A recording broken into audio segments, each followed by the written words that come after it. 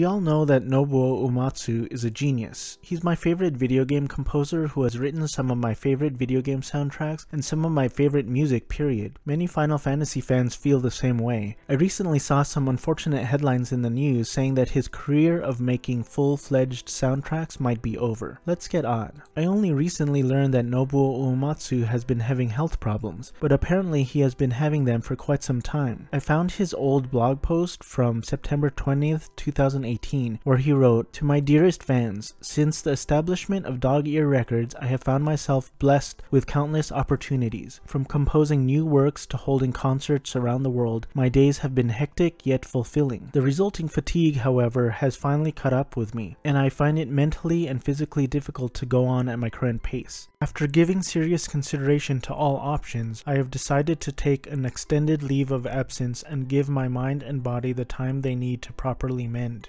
If I am to return, I want to do so in full health. Do not worry. Once I've made a full recovery, I'll be back doing what I do best. My current plan is to rest for the remainder of the year, and while I cannot commit to a method or time frame for my return, I'm very hopeful. So he took a leave of absence starting in September 2018 until the end of that year, but he was back to work in January of 2019. I then found an article entitled A Top Composer Beloved Worldwide Nobuo Uematsu from August 15, 2019 on 1millionpower.com. The interviewer asks regarding his health problems from 2018 did you end up getting hospitalized? And Uematsu-san replies, apparently I was close to dying. I wasn't totally bedridden, but was completely worn out and transferred to different hospitals. I thought that at least my body was still in good shape, but with this, I'd completely lost confidence in that. It impacted everything down to my mood. The interviewer says, it sounds like both your mind and body were fatigued. And Uematsu-san replies, I like putting my all into everything that I do, so I'm going to keep giving it my best no matter what. That's just a habit of mine, and I can't change it now. I take on a bunch of work and put as much as I can into all of it, and that's why I'm exhausted. But I can't do anything about my age, and I realized for the first time I'll have to start considering these things more carefully. I won't read the whole interview, but Uematsu-san goes on to say that when he was younger, he wasn't able to make a living off of music, so he constantly works and he keeps accepting work in fear that he might run out of work or run out of money. He feels that from age 30 until the present day of age 60, time has passed so quickly. He joined Square in 1985 and after the successful release of the first Final Fantasy in 1987, he has been busy ever since. He feels like adults really are just aged children and he's still excited at age 60 about figuring out what he's going to do with himself. He also recently got certified as a sound healing therapist. Sound healing therapy helps relieve ailments through vibrating different types of large tuning forks. He had actually dreamed of one day becoming a sound therapist, feeling that there was something about music that could heal people's hearts. Uematsu-san goes on in the interview to talk about being a self-taught musician and composer, but I especially like the end of the interview where the interviewer says, you're just a person who can never stop. I hope you can keep pushing forward like this forever. And Uematsu-san replies, I won't be settling down. So that interview was from 2019. Fast forward to 2021. I found an article on mobilesyrup.com which was talking about how Hironobu Sakaguchi, who created Final Fantasy and is now head of Mistwalker, is currently working on a classic RPG entitled Fantasian for Apple Arcade. To add to the game's classic JRPG feel, Sakaguchi-chan enlisted longtime friend and collaborator Nobuo Uematsu, but the collaboration almost didn't happen with Fantasian. Here's a quote from Sakaguchi-chan. Before we approached him to work on Fantasian, he was going through some health issues, and there were concerns if he was going to be able to compose everything or if it was even possible for him to work on this. But ultimately, Uematsu-san pulled through to compose the game's entire 60-piece orchestrated soundtrack. It's an especially important collaboration for them, says Sakaguchi-chan, as the work required to compose and orchestrate entire soundtracks might prove too difficult for Uematsu-san going forward. I think he kind of hinted that Fantasian is maybe the last game that he does from end to end in terms of scoring an entire soundtrack,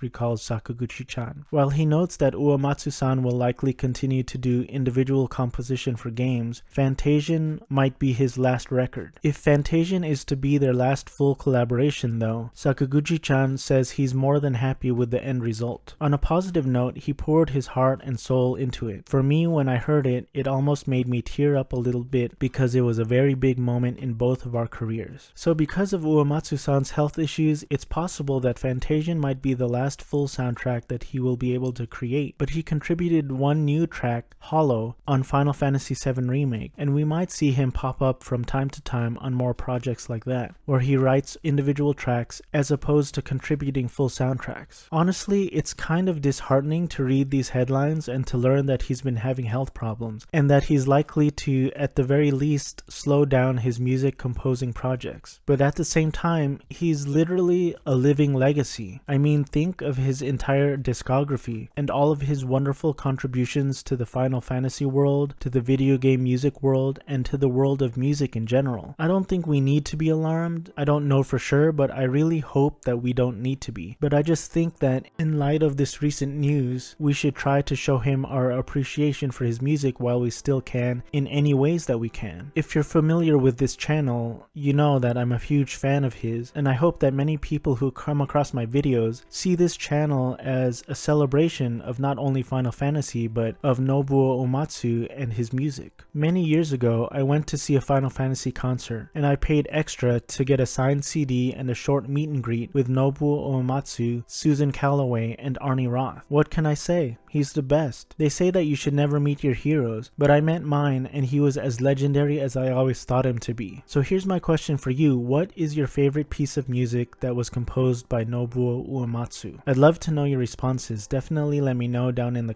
comments. There's a ridiculous amount of tracks to choose from. I immediately think of Final Fantasy VII. Cosmo Canyon comes to mind, but also Opening Bombing Mission and of course Tifa's theme. And there are many, many more, but those come to the top of my head at this very moment. For other videos from Odd Drummer Gaming, click or tap the screen. Thanks for watching. I hope you enjoyed this video and subscribe if you like this video and you want to see more content like this. Stay odd and keep on playing.